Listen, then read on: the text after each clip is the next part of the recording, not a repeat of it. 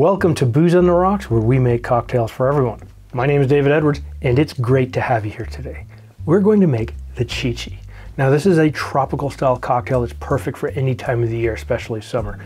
And it was created originally by Donn Beach, but the cocktail version that you normally see today has only three ingredients. The original was called a macadamia nut Chi-Chi. And the main differences are that had macadamia nut liqueur, and that liqueur became hard to find, which is why over time this cocktail changed. It's still hard to find and sometimes quite expensive. So I'm going to make the modified Chi-Chi.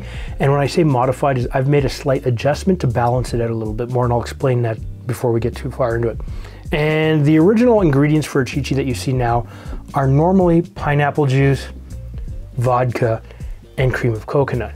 However, I'm adding lime juice to help balance it and give it a little bit of tartness to help cut some of that sweetness. So grab yourself your shaking glass and your knife. Oh yeah, and a lime while you're at it. Give it a bit of a roll. So what we'll do is we will cut this in half and we'll squeeze about half the lime directly in because that means you get about 15 mils or half an ounce. So your second ingredient will actually be cream of coconut. And I'm using a homemade cream of coconut. And what I'll do is I'll put a link to the video on how to actually make this at the end of the video, just for you. Now, what was I looking for? Oh yeah. We need a total of one ounce or 30 mils. Now that you've attained a perfect two layered cocktail, what we're gonna do is add our third ingredient, which is pineapple juice. I'm using a 100% pure pressed pineapple juice, meaning there's no sugar, it's just juice. And we need a total of five ounces. So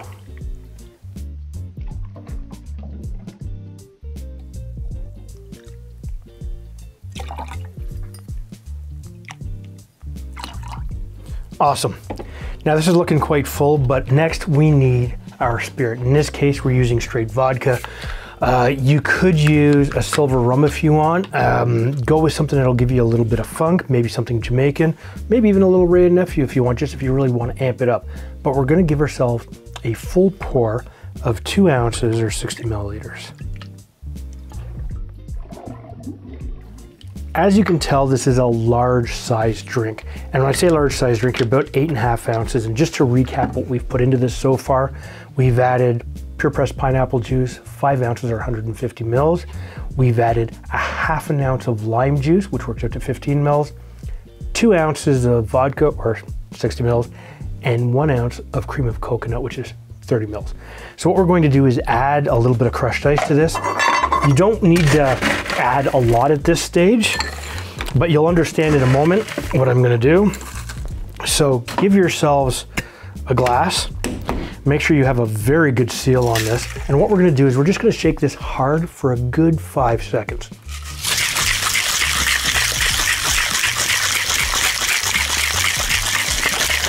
All right, now that you've beat the crap out of this a little bit, I'm being lazy, so we're serving this in the exact same glass. And what we'll do, just grab a little bit more ice and we'll just free pour this in.